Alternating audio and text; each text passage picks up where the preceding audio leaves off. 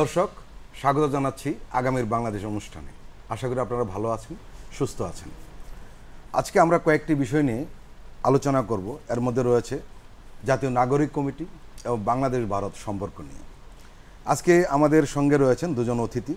একজন হলেন অধ্যাপক সাইদ ফেরদুস। উনি জাহাঙ্গীরনগর বিশ্ববিদ্যালয়ে শিক্ষক, নির্বিজ্ঞান পড়ান। আরেকজন রয়েছেন প্রফেসর নাবিন মুর্শিদ। তিনি নর্থ সাউথ ইউনিভার্সিটিতে রাষ্ট্রবিজ্ঞান পড়ান। এবং উনি আসলে ইউএসএর কলগেট বিশ্ববিদ্যালয়ের রাষ্ট্রবিজ্ঞানের শিক্ষক সাইদ ভাই। গতকালকে একটি বিষয় বাংলাদেশে বেশ আলোচিত হয়েছে, রাজনীতির ক্ষেত্রে বা দ্বিতীয় স্বাধীনতা অর্জনের পরে একটা নতুন ধরনের বিষয় নিয়ে। সেটি হলো, জাতীয় নাগরিক কমিটি হয়েছে। বলা হচ্ছে যে রাষ্ট্র পুনর্গঠনের জন্য এই কমিটি। পঞ্চান্ন জনের একটা সদস্য রয়েছেন এবং সবাই তরুণ। আমি যতটুকু জানি, এদের বয়স আঠাশ থেকে চুয়াল্লিশের মধ্যে। নানান পেশার লোকেরা এখানে রয়েছে। তারা বেশ কিছু কাজ করবে বলে ঘোষণা করেছে। তারা যে লিস্টটা দিয়েছেন, সেটা হলো আটটি কাজ তারা করবেন। আমি প্রথম যে জিনিসটা জানতে চাচ্ছি, সেটি হলো, তারা কি কাজ করবেন সেই বিষয়ে যাওয়ার আগে জাতীয় নাগরিক কমিটি কেন হলো? কেন হলো এটা তারাই সবচাইতে ভালো বলতে পারবেন, তবে আমরা যে বুঝি এগুলো তো অভিনব ঘটনা বাংলাদেশের জন্য। বাংলাদেশে আমরা এই ধরনের উদ্যোগ গত দশকে বা তার এমনকি তার আগের দশকেও দেখি না এবং যখন কিনা এমনকি নব্বইয়ের গণ আন্দোলনের পরে যে গণতান্ত্রিক সরকার ব্যবস্থা এবং রাষ্ট্র ব্যবস্থা নতুন করে যাত্রা শুরু করেছিল, তা, তখনও আমরা এই ধরনের ঐকমত্যের ভিত্তিতে এই ধরনের কোনো রকম উদ্যোগ গ্রহণ করতে আমরা দেখি নাই। জনগণ কিন্তু আশা করেছিল। নব্বইয়ের গণ আন্দোলন যখন হয়, তখন আমরা বিশ্ববিদ্যালয়ের ছাত্র। আমরা কিন্তু আশা করেছিলাম যে গণ আন্দোলনের পরে একটা ন্যূনতম ঐকমত্যের ভিত্তিতে দেশের কতগুলো জিনিস কতগুলো মৌলিক বিষয়ে সিদ্ধান্ত নেওয়া হবে। কিন্তু আমরা দেখলাম যে নব্বইয়ের পরে খুব দ্রুতই দলগুলো যার যার আপন বলয়ে ফিরে গেল এবং দল এবং রাজনৈতিক জোটগুলো, তারা তাদের গদবাধা ধারার বাইরে রাজনীতিকে আনতে পারল না। তো এবং সেইটা যে শুরু, প্রথম পাঁচ পাঁচ বছর এবং দশ বছর এটা টের পাওয়া যায়নি। নব্বইয়ের পরে খালেদা জিয়ার প্রথম সরকার, শেখ হাসিনার প্রথম সরকার, তখন পর্যন্ত মনে হচ্ছিল দেশ ঠিকঠাক মতো গণতন্ত্রের রাস্তায় আছে, ছোটোখাটো ভুল ত্রুটি সময় ঠিক, ঠিকঠাক। কিন্তু আমরা এর বিচ্যুতি দেখতে পেলাম, এরপর থেকেই শুরু হয়ে গেল এবং তারপরে সেটা গত পনেরো বছরের যে ভয়াবহ শাসন এবং অপশাসন এবং এক, একভাবে বলতে গেলে যে শ্বাসরুদ্ধকর পরিস্থিতি বাংলাদেশের মানুষের উপরে যে ধরনের নিপীড়নমূলক একটা সমাজ তৈরি হলো। এই সমাজে যারা বেড়ে উঠেছে, এই যে আঠাশ থেকে চুয়াল্লিশ যাদের বয়স আপনি বললেন, এরা বেড়ে উঠেছে ওই সময়ের মধ্যে। সম্ভবত এরা তাগিদ বোধ করেছেন যে যে রাজনীতি তারা দেখে এসছেন, যে স্টেটসম্যানশিপ তারা দেখে এসছেন, সেটার বদল হওয়াটা জরুরি। এই তাগিদটা তারা বোধ করেছেন। অবশ্যই স্বৈরাচারের জগদ্দল পাথর নিজের বুকের থেকে নামানো সেটা তো একটা ব্যাপার, সেটা নেমে গেছে। কিন্তু তারপরে কি? তারপরে হচ্ছে একটা ঐকমত্য তৈরি করতে পারা। এমন কিছু উদ্যোগ নিতে পারা, যেখানে দল বা দলীয় পরিচয় বড় ব্যাপার না, সেটাকে ছাপিয়েও যাতে উঠতে পারে। তো জাতীয় নাগরিক কমিটিতে দু চারজন আমার পরিচিত দু চারজন আমি সেই কথাটা বলতে চাচ্ছিলাম যে আমি আমরা জানি, শুধু আমি নয়, আমরা জানি যে এই ছাত্র আন্দোলনে আপনার ভূমিকা কী ছিল? একটা সক্রিয় মানুষ ছিলেন আপনি। আপনি শিক্ষক নেটওয়ার্ক যেটা ছিল, খুব সক্রিয়ভাবে কাজ করেছে। সেখানে আপনি ভূমিকা রেখেছেন। আমরা টক শুতে গিয়েছেন, কথা বলেছেন। আমি এও জানি, যারা জাতীয় নাগরিক কমিটিতে রয়েছেন, তাদের অনেকে আপনার ব্যক্তিগতভাবে পরিচয়। এখন আমার প্রশ্নটা হলো যে এই কাজটি কি করা দরকার ছিল? আমি মনে করি খুবই, এটা এটা উদ্যোগ হিসেবে খুবই ইন্টারেস্টিং খুবই গুরুত্বপূর্ণ। এই এই ধরনের উদ্যোগ খুব গুরুত্বপূর্ণ কারণ একটা কোনো মতপথের মানুষকে এখানে জড়ো করা হয়নি। এখানে নানান ধরনের মতপথের সম্মিলন করা হয়েছে।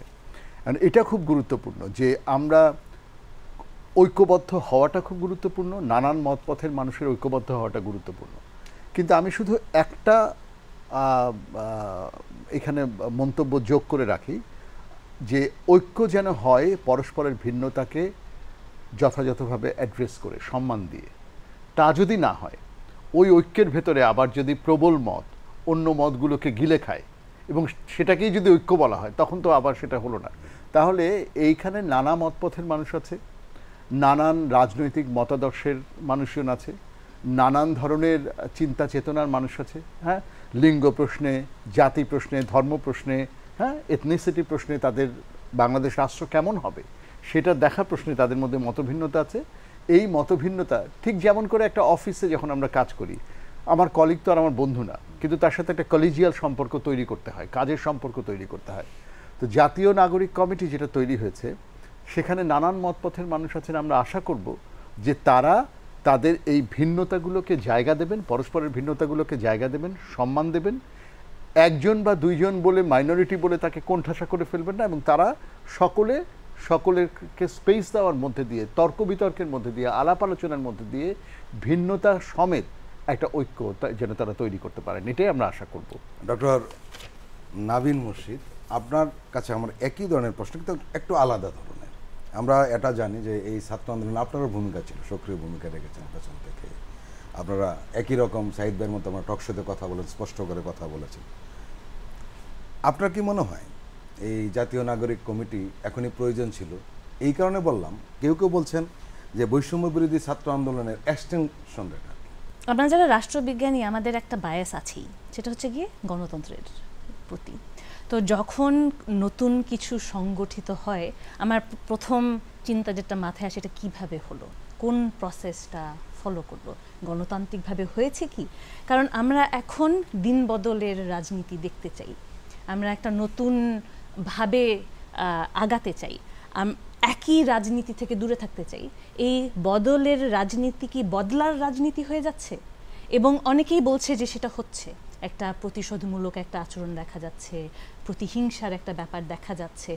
এবং সেগুলো থেকে আমাদেরকে বেরিয়ে আসতে হবে। এবং আমি সাইদ ভাইয়ের সাথে এক- একদিকে একমত যে আমরা যাদেরকে দেখছি, তারা এই স্বৈরাচারী শাসন ছাড়া আর কিছু দেখেনি। এটা একদিকে ভালো কারণ তারা তার বিরুদ্ধেই দাঁড়িয়েছে। কিন্তু তারা তো বিকল্পটাও দেখেনি। অন্যভাবে যে ভাবা যায়, অন্য বিকল্প কি হতে পারে, সেই ধারণা কি আমরা পাচ্ছি, সেটা এখনও ক্লিয়ার না, সুপরিষ্কার না।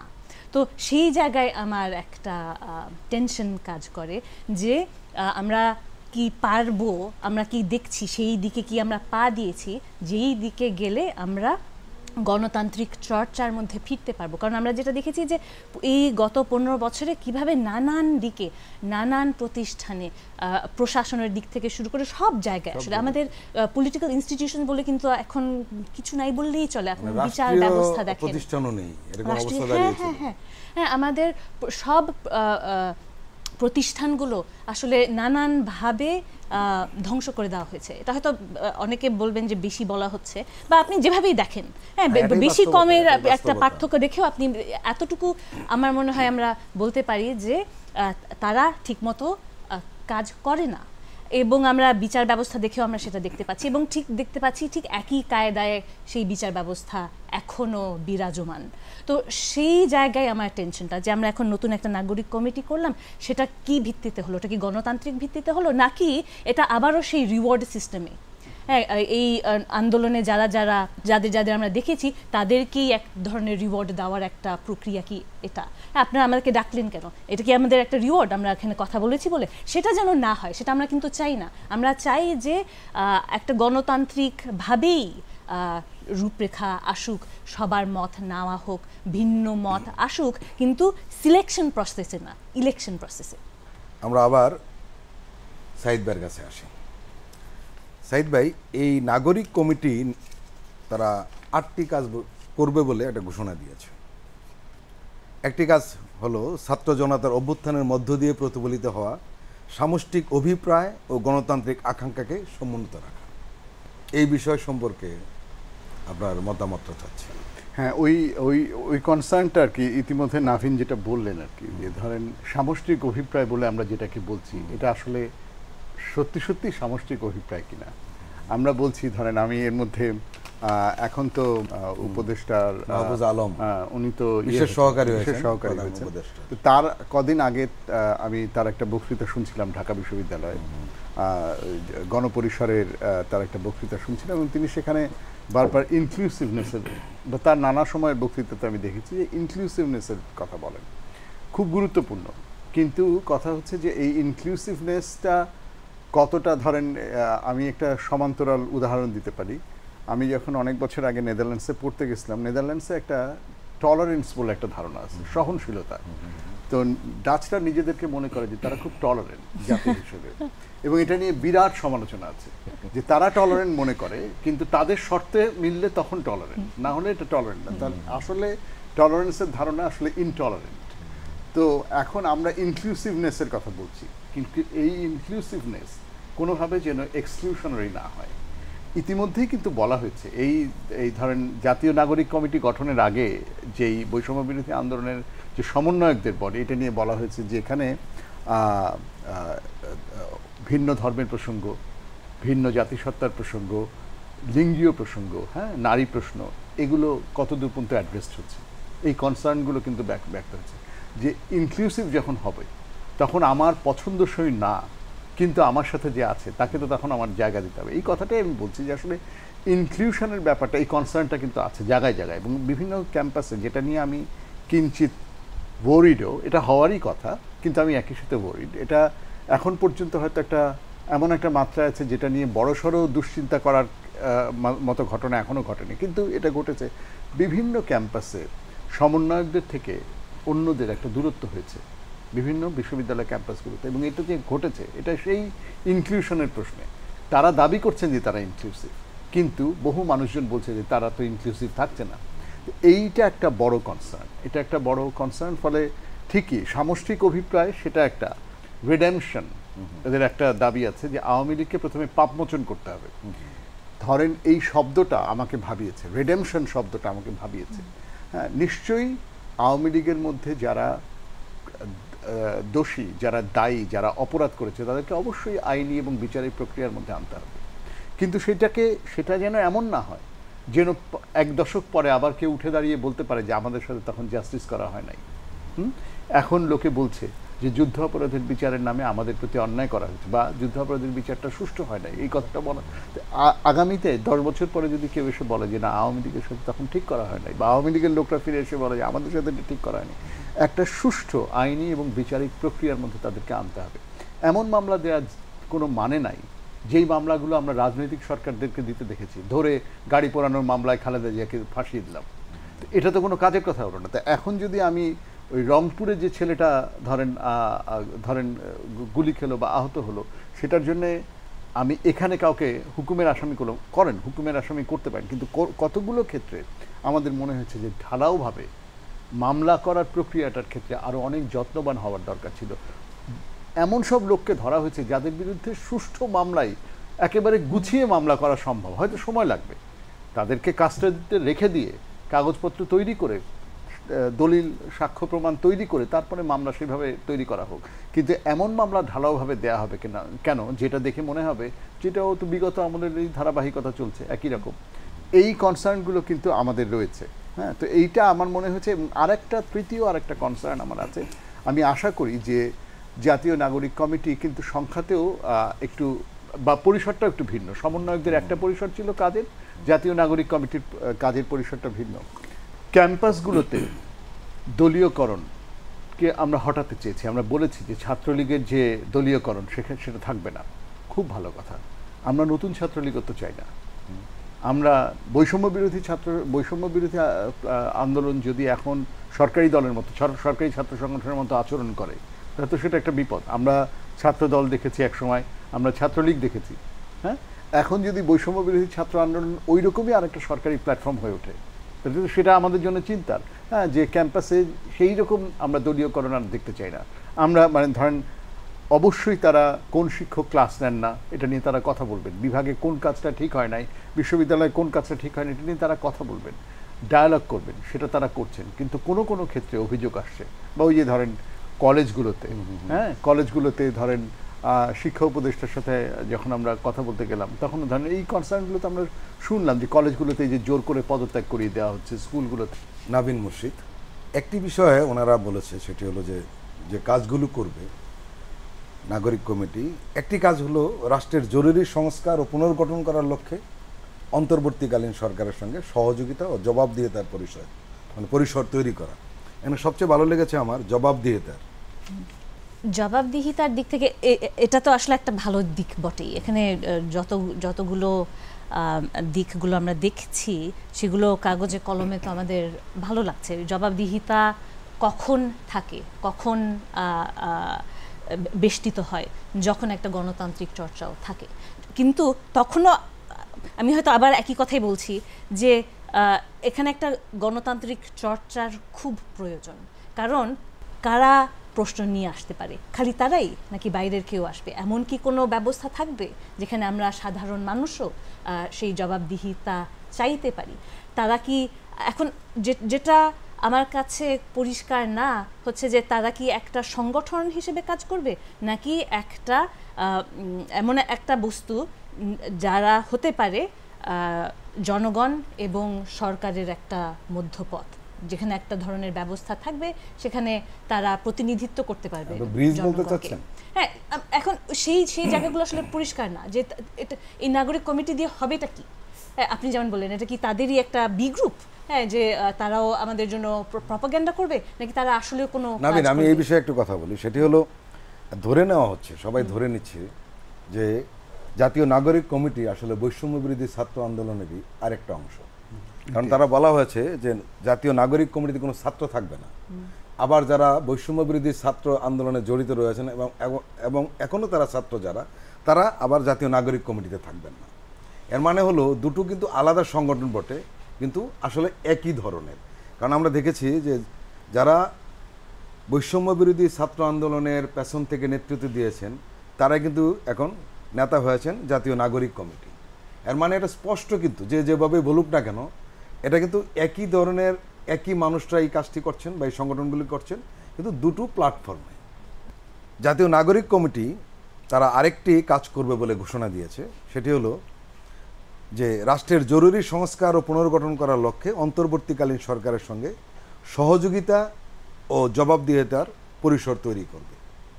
তারা সহযোগিতার কথা বলেছে, আবার জবাবদিহিতা কথাও বলেছে। এই বিষয়টিকে আপনি কীভাবে দেখছেন? থিওরিটিক্যালি আমি এটা ভালোভাবেই দেখছি। যদি এমন সুযোগ থাকে তাদের সহযোগিতা করার এবং জবাবদিহিতা রাখার। কিন্তু প্রশ্নটা উঠবে যে কিসের ভিত্তিতে জবাবদিহিতা করবে? তারা কি কোনো ধরনের রিপ্রেজেন্টেটিভ তাদের কি কোনো মেকানিজম থাকবে যার মাধ্যমে তারা জনসাধারণের ইচ্ছা, অনিচ্ছা ডিমান্ড যা থাকে সেগুলো বা প্রশ্ন যা থাকে সেগুলো পৌঁছে দিতে পারে? নাকি সেটা তাদেরই একটা অঙ্গ হিসেবে একটা কালচার তৈরি করবে? তাদের সংগঠনের ভিতরেই কীভাবে জবাবদিহিতা তৈরি হয়। এটা প্রশ্নটা হলো যে এটা কি আসলে সেলফ রিফ্লেক্টিভ একটা জায়গা হবে? যেখানে আমরা যা যা করছি আমরাই আবার সেটার বিবেচনা করব আলোচনা করব নিজেদেরকে নিজেরা প্রশ্ন করব। নাকি এটা এমন হবে যে তারা জনগণের পক্ষ থেকে কোনো একভাবে জনগণের মতামত আসলে পেশ করতে পারবে সরকারের কাছে? তো ওই দিক থেকে একটা ক্রিটিক্যাল জায়গা আছে যেখানে ওরা একটা রোল রাখতে পারে। ডক্টর নাবিন আমি একটু পেছনের একটা ঘটনা বলি। সেটি হলো এই সরকার গঠন হওয়ার আগেই কিন্তু দ্য গার্ডিয়ান যেটা লন্ডন থেকে বের হয়, সেই পত্রিকা কিন্তু রিপোর্ট বেরিয়েছিল যে বাংলাদেশের নতুন রাজনৈতিক শক্তির উত্থান হচ্ছে। এটা কি সেরকম? আমরা সবাই আশা করি তাই। আমরা যারা এই গত পনেরো বছরের সরকার দেখেছি, আমরা যে স্বৈরাচারী শাসন দেখেছি, আমরা সবাই আশাবাদী যে একটা নতুন কিছু দেখব। কিন্তু চ্যালেঞ্জটা তো সেটাই যে আমরা কি স্বৈরাচারীর বাইরে যে নতুন কিছু কি গড়তে পারব? নাকি আমাদের মনোভাবেই, আমাদের চিন্তায়, মননে স্বৈরাচারী তা কাজ করে? এখন সেটাই হচ্ছে কি আমার মনে হয় সবচাইতে বড় চ্যালেঞ্জ কলোনিয়ালিজমের মতো। আমরা বলি কলোনিয়াল মাইন্ড এখন আমাদের ব্যাপারটা কিন্তু সেরকমই। আমরা চাই স্বৈরাচারী থেকে বেরিয়ে আসতে। আমরা চাই একটা গণতান্ত্রিক একটা পরিবেশ। কিন্তু আমরা কি পারছি সেটা করতে? আমাদের ওই সেলফ রিফ্লেকশনের জায়গাটা যার কারণে খুব জরুরি। আমাদেরকে নিজেদেরকেই প্রশ্ন করতে হবে যে আমরা সকলেই কি এখানে পার্টিসিপেট করেছি? এই সরকার পনেরো বছর ধরে আছে। আমাদের রোল সেখানে কি ছিল? এখানে এবং আমরা কীভাবে নিজেরাও সেটাকে সায় দিয়েছি এবং নিজেরাও নিজেদের মধ্যে এমবডি করেছি সেই সব ধারণা। এবং এখন যখন আমাদের সুযোগ এসছে, আমরা কি একই কাজ করছি? আমরা কি আবার সেই বদলা নিতে চাচ্ছি? আমরা কি আবার স্বৈরাচারী হতে চাচ্ছি? আমরা কি আমাদের চিন্তা ধারণা আরেকজনের উপর চাপিয়ে দিতে চাচ্ছি? এবং অনেক জায়গায় আমরা কিন্তু দেখছি যে তাই হচ্ছে। উনি আইনের কথা বললেন হ্যাঁ মামলার কথা বললেন। ঠিক ওই অজ্ঞাতনামা স্টাইলে কিন্তু মামলা দায়ের করা হচ্ছে। সেটা তো নতুন না। হ্যাঁ এগুলো থেকে তো আমরা ভেঙে একটা নতুন কিছু চাই আসলে। এবং সেটা যদি একটা গণতান্ত্রিক চর্চা না থাকে সেটা আসলে হওয়ার সম্ভাবনা নাই। আমরা ড্রয়িং রুমে বসে বা রাস্তায় বসেও কয়েকজন মিলে সেটা আমরা গড়তে পারি না। আমাদের আসলে জনমতের শক্তিতেই অগ্রগতিটা দেখতে হবে। কিংস পার্টির বলে একটা শব্দ রাষ্ট্রবিজ্ঞানে আছে। বিশেষ করে আমাদের দেশে বোধ বেশি প্রয়োগ হয়েছে। প্রথম প্রশ্ন হলো যে জাতীয় নাগরিক কমিটি কোনো রাজনৈতিক দল হবে? শেষ পর্যন্ত আপনার মনে হয়? আর হলে কি সেটা কিংস পার্টি হবে? সেটা যদি হয় প্রথম কথা সেটার চাইতে দুঃখজনক আর কিছু হবে না। কারণ কিংস পার্টি কথাটাকে তো আসলে কেউই ইতিবাচক অর্থে আমরা নেই না তাই না? কারণ হচ্ছে আপনি এটা তো ডিকটেটর ডিকটেটররা তাদের হাতের উপরে যে দলটাকে তৈরি করেন খাড়া করেন হ্যাঁ। এখন কিংস পার্টি তৈরি হয়ে পরে সেটা পিপলের ভালোবাসা পেয়েছে মানে পিপলের মন জয় করেছে সেটা সেরকম নজির পৃথিবীতে নাই তা না। কিন্তু এই ক্ষেত্রে আমরা তো একটা ভিন্ন কিছু আশা করব। এত বড় পরিবর্তন এত রক্তপাত এত মৃত্যুর মধ্যে দিয়ে একটা পরিবর্তিত বাস্তবতা। হ্যাঁ আমরা দেখছি যে বিশেষ করে আহ্বায়ক এবং সদস্য সচিব হ্যাঁ এইখানে যারা আছেন তাদের মধ্যে অন্তত একজনকে তো আমরা চিনি যে তার গণ অধিকার পরিষদের সাথে একসময় যুক্ত আরেকজন ছিলেন এবি পার্টি হ্যাঁ আরেকজন ছিলেন এবি দুজনেই পলিটিক্যাল পার্টির লোক। দুজনই পলিটিক্যাল পার্টি এবং তারা ভেঙে এসে এবং আমরা জানি যে বৈষম্য বিরোধী ছাত্র আন্দোলনের প্ল্যাটফর্মের সমন্বয়কদের একটা বিরাট অংশ হচ্ছে আক্তারের সাথে সম্পর্কিত যে ছাত্র শক্তি হ্যাঁ, ছাত্র শক্তি সেইটারই পোস্টেড মানুষজনরাই এখন বৈষম্য বিরোধী আন্দোলনের নেতৃত্বে আছেন। ফলে এইটা রাজনৈতিক দল হয়ে উঠবে কিনা এটা রাজনৈতিক দল হলে কোনো দোষ নাই। কিন্তু যদি যেটা নাভিনের কনসার্ন এখন আমরা ওইখানে ফিরবো। যে তাহলে এটা হচ্ছে যে এটা যদি ওই কিংস পার্টির আদলে হয় মানে এটা যদি আমরা আমরাই সব হ্যাঁ আমরাই সরকারে আমরাই বলছি আমরা ওয়াচডগ থাকব কিন্তু আমাদের থেকে দুজন আবার সরকারে আছে হ্যাঁ আমরা বলছি বটে যে তারা সাংগঠনিকভাবে আমাদের সাথে আর নাই। নাহিদ এবং আসিফ সাংগঠনিকভাবে আমাদের সাথে নাই, তারা সরকারে আছে। কিন্তু আমরা একই সাথে বলছি যে এই আমাদের প্ল্যাটফর্ম হচ্ছে ওয়াচডগ আবার একই সাথে আমরা নতুন একটা প্ল্যাটফর্ম করলাম, যেটা আসলে আমাদেরই এক্সটেনশন এই সমস্তটাই তো আসলে দেখা যাচ্ছে যে তাহলে নাভিনের কনসার্ন ছিল যে আমি প্রকারান্তরে আমার জবাবদিহিতা চাচ্ছি। এটা হতে পারতো যে জাতীয় নাগরিক কমিটি ইন্টারনাল ক্রিটিসিজমগুলো তৈরি করবে বা ইন্টারনাল লুপহোলসগুলোকে আইডেন্টিফাই করবে বা দেখবে এবং তারা সম্ভব হলে অ্যাক্রস দ্য বোর্ড তাদের মতপথের বাইরে গিয়েও তাদের মতপথের সাথে মিলতে পারে, নাও মিলতে পারে, বিভিন্ন বিষয়ের এক্সপার্ট মনে করেন সংবিধান বিষয়ে যারা এক্সপার্ট মনে করেন বিদেশ নীতি বিষয়ে যারা এক্সপার্ট এরকম মানুষজনের সাথে কথা বলবে এবং কথা বলে হ্যাঁ ওই একটা ওয়াচডগের কাজ হ্যাঁ বা ওই ওরকম ধরেন টাস্ক ফোর্সের মতো তৈরি করে তো জাতীয় নাগরিক কমিটি যদি সেই ধরনের উদ্যোগ নেয় যে না, আমরা জবাবদিহিতা করব না নিজেরা, আমরা জবাবদিহিতা এনশিওর করতে যাব না, কারণ এটা আমাদেরই অংশ, আমরা অন্যদেরকে ইনভলভ করব সোসাইটির বৃহত্তর অংশকে ইনভলভ করব এবং তাদের কাছ থেকে জবাবদিহিতা। আর একটা জায়গায় আমি শুধু নাভিনের সাথে এখানে একটা একটা ছোট্ট ইয়ে বলি, সেটা হচ্ছে যে নাভিন বলছেন যে তারা কোন অথরিটিতে তারা জবাবদিহিতা করবেন। এখন এইটা হচ্ছে একটা ভিন্ন বাস্তবতা যেহেতু বাংলাদেশের, যেহেতু একটা গণ আন্দোলনের মধ্যে দিয়ে তৈরি হয়েছে। ফলে এখানে আসলে তারা নির্বাচিত হয়ে আসার তো সুযোগ ছিল না। ফলে এরা আন্দোলনের শক্তি। কিন্তু নাভিন যে চেক ভাল্বটা রাখতে বলেছেন যে আন্দোলনের শক্তি হওয়া মানেই অটোমেটিক্যালি আমি আমার জবাবদিহিতা নিশ্চিত করব, তার মানে হচ্ছে অন্য কেউ আমার জবাবদিহিতা চাইতেও পারবে না এরপরে। এই জবাবদিহিতা চাওয়ার একটা বিপদ হচ্ছে ওইটা যে অন্য কেউ আমার জবাবদিহিতা চাইতে গেলে তখন তাকে আমি বাতিল করব। অনেকেই যখন ধরেন এই একই দিকে যেমন বহু লোক বলছে যে যখন সংখ্যালঘু বা হিন্দু মানুষজনের ঘর বাড়ি পড়ল, তখন বহু লোকজন বলছে যে, আমরা তো যে আগেই জানতাম, আগেই বলছিলাম এরকম হবে। তো এটা নিয়ে আমরা অনেক হাসাহাসি করলাম যে এরা আগেই জানতো, এরা পনেরো বছর ধরে চুপচাপ ছিল। আবার একই সাথে এই এই কথাও আস- আসছে যে হ্যাঁ ঠিক আছে, হোক আওয়ামী লীগ, কিন্তু তাই বলে কি তার সাথে আমরা এটা করতে পারি কিনা? বা এইভাবে আমরা তো আমার মনে হয় ওইটা নিশ্চিত করা যে, জবাবদিহিতা যখন আমরা বলছি, তখন আসলে তো আঙ্গুল তুলতে হবে আমার নিজের দিকে। আমি তো আমার জবাব দিতে পারে সরকার আমার আন্দোলনের মধ্যে দিয়ে তৈরি হওয়া। আমি বৈষম্য বিরোধী প্ল্যাটফর্ম আমারই এক্সটেনশন হচ্ছে জাতীয় নাগরিক। আমরা একটা বিরতিতে যেতে হবে।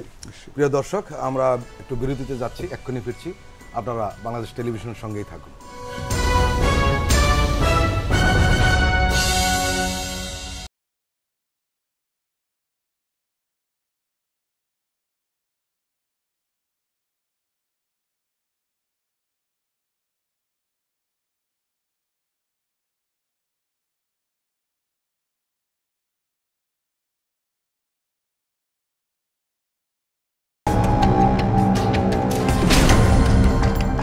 ফ্যাসিবাদের দিনলিপি।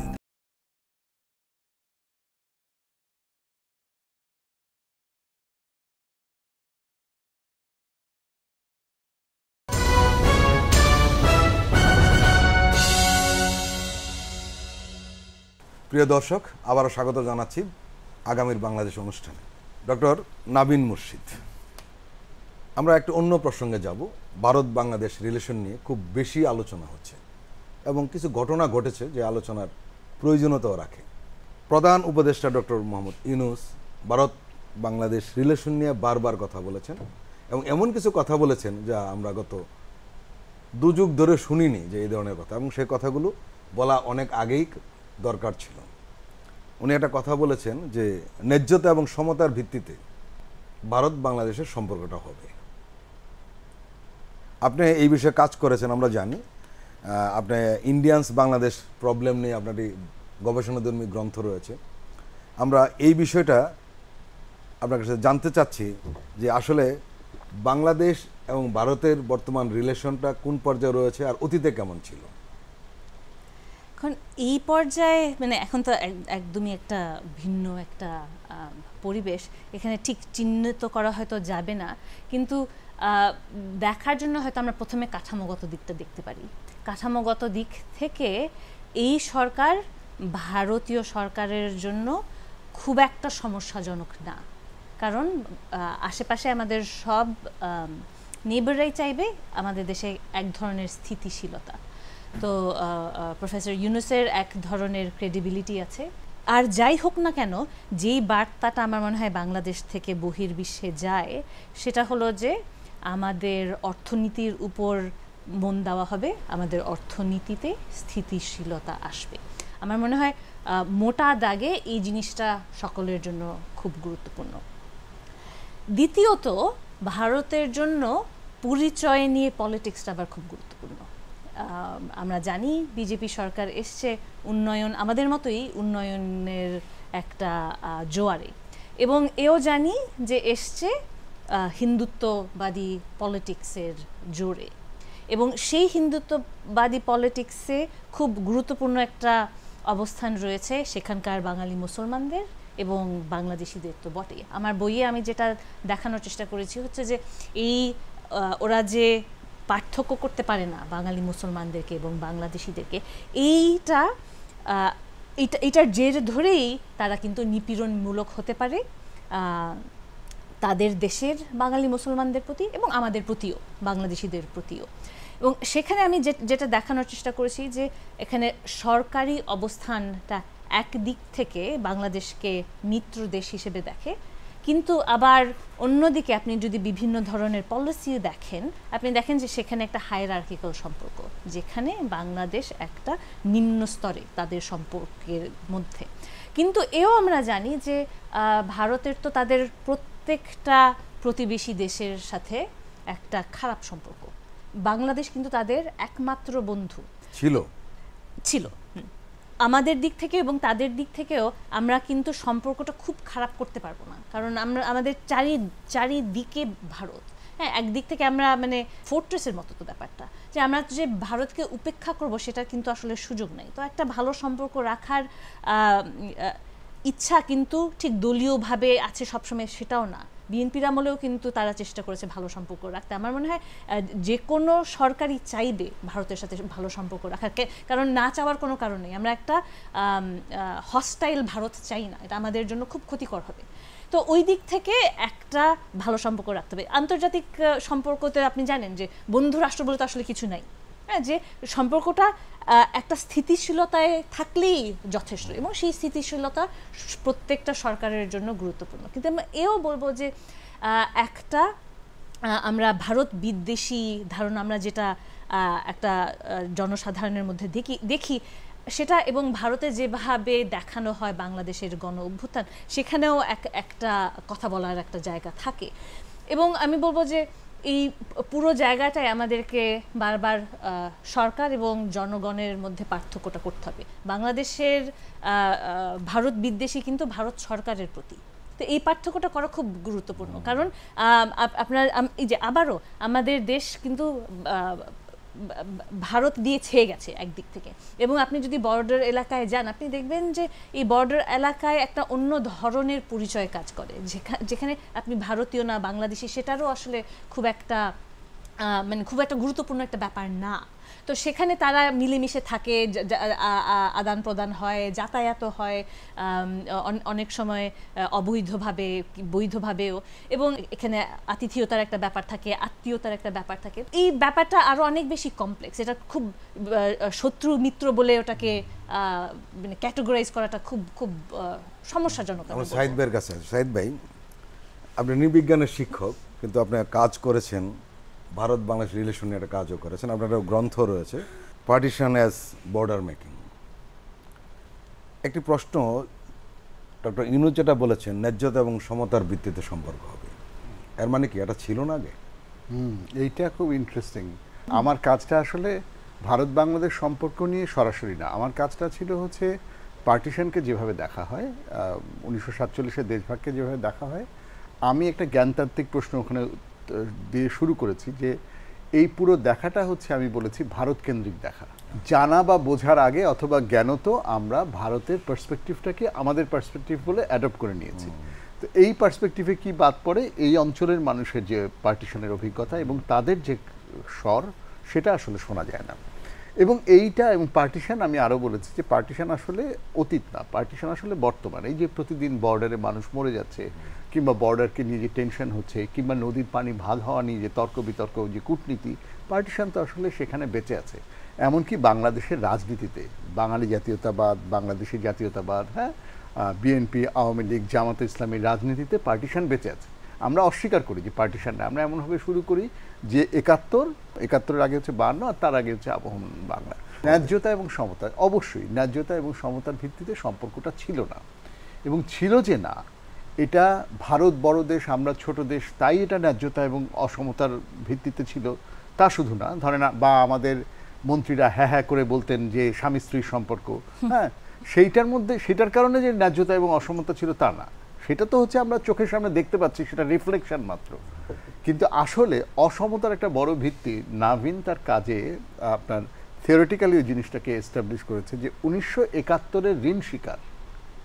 ভারতের কাছে উনিশশো একাত্তরের ঋণ শিকারের কারণে কখনোই এই সম্পর্ক ইয়ে হয় নাই। এই এই সম্পর্কটা সমতার সম্পর্ক হয় না যতদিন আপনি বলতে থাকবেন যে একাত্তরের জন্য আমরা ভারতের কাছে ঋণী এবং ভারতকে আপনি ওই ইডিওলজিক্যালি ওই চাঙে তুলে রাখবেন হ্যাঁ মাথার উপরে তুলে রাখবেন, তো ততদিন তাহলে তো ভারতের বৈধ এখতিয়ার হয়ে যায় আপনার উপরে ছড়ি ঘোরানোর। কারণ আপনার, এবং গড়পর্তা মানুষজন যখন হেট স্পিচ করে, আপনি ইউটিউবে গিয়ে দেখবেন কোনো একটা কন্টেন্টের নিচে যখন ভারতীয়রা এবং বাংলাদেশিরা হেট স্পিচ করে এবং পরস্পরের সাথে গালাগালি করে তখন ভারতীয়দের প্রথম লাইন অফ আর্গুমেন্টেই হচ্ছে যে তোদের দেশ আমরা স্বাধীন করে দিলাম আর তোরা কত বড় অকৃতজ্ঞ। তো এইটা হচ্ছে আপনার একদম ন্যায্যতা এবং অসমতার ক্ষেত্রে। বড় অসমতা হচ্ছে হ্যাঁ, ঠিক আছে উনিশশো একাত্তরকে উনিশশো একাত্তরের ভারতের ভূমিকা গুরুত্বপূর্ণ। কিন্তু ভারত তো কোনো অল্ট্রিজম করেনি। এখানে যে জিওপলিটিক্যাল অ্যাডভান্টেজ ভারত পেয়েছে, সেই কারণেই ভারত। পাকিস্তানকে ভাঙার মধ্যে দিয়ে তার এই রিজিয়নে গরিবের আমেরিকা হয়ে ওঠার যে বাস্তবায়ন হয়েছে হ্যাঁ স্বপ্ন বাস্তবায়ন হয়েছে, সেইটা তো একটা বড় জায়গা ছিল। গণতন্ত্রকে আমরা শ্রেয়তর ব্যবস্থা মনে করি।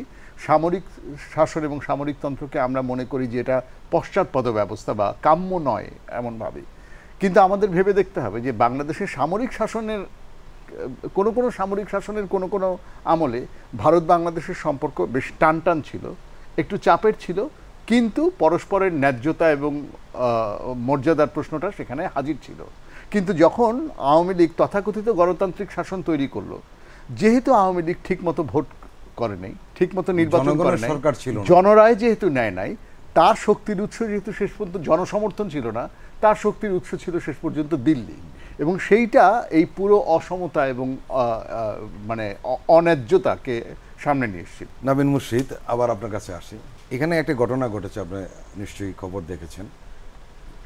জাতিসংঘের অধিবেশনে বাংলাদেশ থেকে ভারতের প্রধানমন্ত্রী নরেন্দ্র মোদীর সঙ্গে একটা বৈঠকের প্রস্তাব দেওয়া হয়েছে। এখনও ভারত কোনো জবাব দেয়নি। বরঞ্চ ভারতীয় মিডিয়ায় বেশ উল্টাপাল্টা লেখা হয়েছে, যারা সবসময় যে কাজটি করেন। বিশেষ করে ভারতের রাষ্ট্রায়ত্ত সংবাদ সংস্থা পিটিআইয়ের সঙ্গে যে সাক্ষাৎকার দিয়েছেন অধ্যাপক ইউনুস এরপরের থেকে কিন্তু ভারত নানান ধরনের তৎপরতা শুরু করেছে। একটি তৎপরতার উল্লেখ করা যেতে পারে, সেটি হলো তাদের পররাষ্ট্রমন্ত্রীর যে তৎপরতা বা বক্তব্য, এটা নিয়ে ব্যাপক আলোচনা হচ্ছে। শুধু আমাদের দেশে নয় ইন্ডিয়াতে আলোচনা হচ্ছে, এমনকি ইন্টারন্যাশনাল মিডিয়াগুলোতেও ব্যাপকভাবে আলোচনা হচ্ছে। এই সমস্ত ঘটনার পরিপ্রেক্ষিতে গতকাল বাংলাদেশের পররাষ্ট্র উপদেষ্টা তহিদ হোসেন পরিষ্কার বলেছেন যে, ভারত যদি চায় যে আমাদের সঙ্গে দেখা করবে না, আমাদের জোর করে দেখা করার কোনো প্রয়োজন নেই। এই বিষয়টি সম্পর্কে আপনি মতামত জানতে চাচ্ছি না, তা তো নাই। তা তো মানে এই এতটুকু আশা তো আমরা রাখতে পারি যে আমাদের আত্মমর্যাদার জায়গা থেকে আমি তো অবশ্যই, আমার সাথে একজন দেখা করবে না। আমি কি এখন যে যে দেখা করব নাকি? যে এত হয়তো একদিক থেকে এটা খুবই কম, কিন্তু হয়তো এতটুকুই আমরা পাইনি আগে। না যার কারণে এটা একটা বড় আকারে আমরা এখন কাগজে পাচ্ছি যে হ্যাঁ এটা বলার সাহসটাও পেলাম। কিন্তু এটা কিন্তু বেসিক ভদ্রতা তাই না? এবং বেসিক সম্পর্কের একটা মাপকাঠিও বলতে পারেন। আমি যদি আজকে সাইদ ভাইকে বলি সাইদ ভাই আমি আপনার সাথে চা খেতে চাই আর উনি কোনো কিছু বলেন না তখন আমি কি বলব? স্বাভাবিকভাবে বলব ঠিক আছে থাক। তাই না? এতটুকু যদি আমরা করতে না পারি তাহলে তো এখানে আসলে সম্পর্ক বলে কিছু নাই তাই না? এটা তো দাসত্বের সম্পর্ক পরিণত হয়। তো সেই জায়গাতে তো ঠিকই আছে। আমরা কতখানি এখানে বিশ্লেষণ করব, তারা এখনও দেখা করতে চাননি। হতে পারে কালকেই বলছে যে, ঠিক আছে, দেখা করছি। হয়তো যে একটু সময় নিচ্ছে। হয়তো তারাও একটু মেরুদণ্ড দেখাচ্ছে যে হ্যাঁ আমরা ডাক দিল সাথে সাথে চলে গেলাম। এই তো নানান ধরনের খেলা। চলে চাপে হ্যাঁ। চাপে চাপে রাখছে হ্যাঁ হ্যাঁ।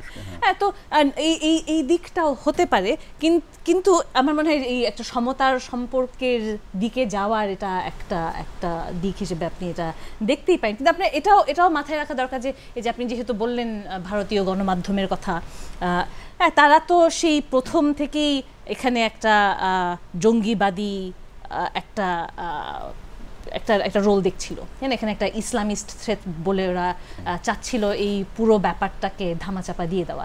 এবং বহির্বিশ্বেও তারা এই ধরনের প্রপোগেন্ডাই করে যাচ্ছে যে বাংলাদেশে ইসলামিস্ট থ্রেট সেখানে আমরা হ্যাঁ এ তো এমন না যে কিছু হিন্দু পরিবার আঘাত হয়নি। মন্দির আঘাত হয়নি, সেটা কিন্তু না। কিন্তু সেটাকে বাড়িয়ে বলা, যাতে এটাকে একটা ওই যে হিন্দুদের উপর আবার গণহত্যা চলছে, এরকম ধরনের উস্কানিমূলক কথা বলা হ্যাঁ যেন একটা পরিস্থিতি তৈরি হয়। এটাও মানে একটা জিওপলিটিক্যাল জায়গা থেকে একটা গুরুত্বপূর্ণ জিনিস হচ্ছে যে, বাংলাদেশে ইসলামিস্ট থ্রেট আছে সেটা বলা কিন্তু আমেরিকার জন্য একটা ভালো জিনিস হয়ে যায় মানে ভালো জিনিস মানে স্ট্র্যাটেজিক্যালি ভালো, এবং ভারতের জন্য কারণ সেই ছুতায় তারা আরও বেশি ইনভলভ হতে পারে বাংলাদেশি পলিটিক্সে তো সেই কারণেই সেটার আবার রোধ করাটা খুবই প্রয়োজন। কিন্তু এই কিন্তু এমনও না যে আমাদের দেশে মৌলবাদী ধারণা নাই, সেটাও আছে। তো সেটাকে আবার কাউন্টার করতে গিয়ে আমরা যেন ওই জায়গায় চলে না যাই যে না, আমাদের কোনো থ্রেট নেই। কারণ কারণ কিছুটা থ্রেট আছে। যেমন একটা দিক তো সত্যি, আওয়ামী লীগ আমাদের অনেককেই আমাদের দেশের অনেককেই কনভিন্স করতে পেরেছিল যে আওয়ামী লীগ চলে গেলে বাংলাদেশটা আফগানিস্তান হয়ে যাবে। এখন সেটা যেন না হয়, সেটাই দেখানোর একটা ব্যাপার হয়ে যায় এখন। হ্যাঁ যে আসলে কিন্তু হবে না। আসলে কিন্তু নারীদের আমরা ঘরের ভিতরে ঢুকিয়ে দিব না। আসলে কিন্তু আমরা মহিলাদের অধিকার কেড়ে নিব না। না? এই ধরনের ব্যাপারগুলো একটা দেখানোর, সবাই কিন্তু তাকিয়ে আছে দেখার জন্য। এই যে হয়ে গেল আফগানিস্তান। তো সেটা একটা চ্যালেঞ্জও বটে। এমন কিন্তু না যে একটা মৌলবাদী চেতনা, ধারণা নাই। সব সময় ছিল, সব, হয়তো সব সময়ই থাকে, প্রতি, প্রতিটা দেশেই থাকে। হ্যাঁ কিন্তু তারা কোন কোন সময় এম্পাওয়ার্ড তাই না? এবং এটাও মনে রাখা দরকার যে যখন অন্যান্য দেশ থেকে, যেমন ভারত থেকে বা আমেরিকা থেকে এই ধরনের উস্কানিমূলক কথাগুলো বলা হয়, তখন কিন্তু ওই মাইনরিটি এলিমেন্টগুলোই এম্পাওয়ার্ড হয়। তাদেরকেই আপনি কিন্তু সাহস যোগাচ্ছেন আরও একটু বেশি আক্রমণকারী হওয়ার জন্য। তো জিও পলিটিক্সটা এই কারণেও আসলে খুব গুরুত্বপূর্ণ হয়ে যায়। ভারতের সাথে বিশেষ করে কারণ তারা তো যখন আওয়ামী লীগের সাথে খুব ভালো সম্পর্ক, তখন ওরা বলার চেষ্টা করেছে। আমাদের এখানে এই যে আওয়ামী লীগ কিন্তু দাবিয়ে রেখেছে এই একটা ইসলামিস্ট থ্রেট সেইটার জের ধরেই কিন্তু তারা সাপোর্ট করে গেছে। আওয়ামী সরকারকে। এবং আমি যখন রিসার্চের কারণে ইন্ডিয়াতে যাই, ওদের বিএসএফ এর পার্সোনালের সাথে কথা বলি, আমি আমি দেখেছি তারা, তারাও বলছে যে, না, আমাদের তো আসলে আর কোনো চয়েস নেই।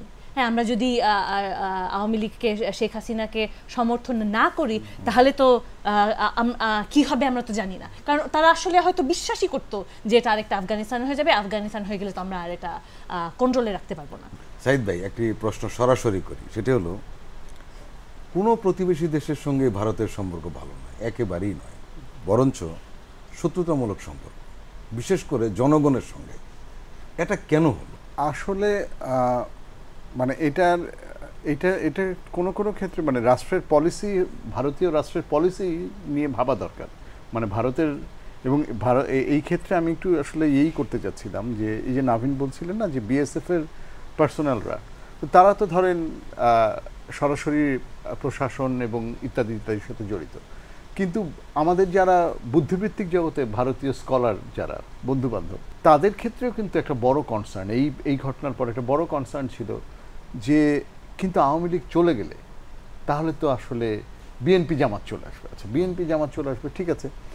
তারা আসলে যেভাবে দেখছিল সেটা হচ্ছে যে তারা বিএনপি জামাত বলতে যে, বোঝাতে চাচ্ছিল, ইসলামিস্টরা আসবে এবং তখন এটা ভারতের জন্য ডিস্টেবিলাইজিং ফ্যাক্টর হয়ে যাবে। এই যে একটা জুজুবুরির ভয়, এইটা আসলে কতটা বাংলাদেশের বাংলাদেশকে নিয়ে তাদের কনসার্ন কতটা? হ্যাঁ আমরা জানি যে চিকেন নেক ইত্যাদি ইত্যাদি ইস্যু আছে।